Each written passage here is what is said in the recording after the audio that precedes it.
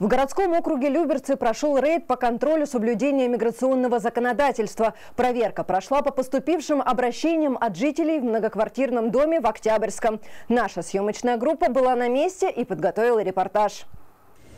Дом номер три по улице 60-летия Победы печально известен в поселке Октябрьский. На протяжении нескольких лет он является местом паломничества. Пятница – время коллективного намаза. У окна на первом этаже специальная лестница. По ней один за другим мужчины проникают в молельню. Жителей дома такая картина, естественно, не устраивает. Об этом они пишут в соцсетях.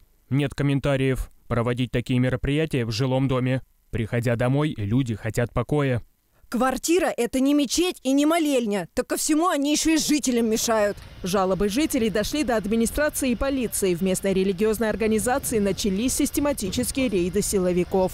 Вижу, что ведется работа. Здесь замглавы находится, здесь находится спецполк, здесь находится народная дружина. И мы рады, что на нас обратили внимание. Проверки регулярно проходят в Октябрьском. А, и везде они проходят у нас по поселку.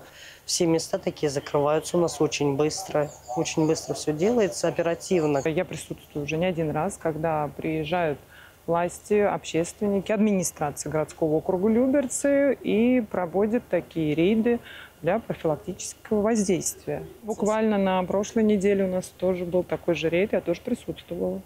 По этому адресу проводим рейды каждую пятницу, проверяем, э, чтобы все граждане, которые присутствуют, э, были э, с документами и в соответствии с требованиями.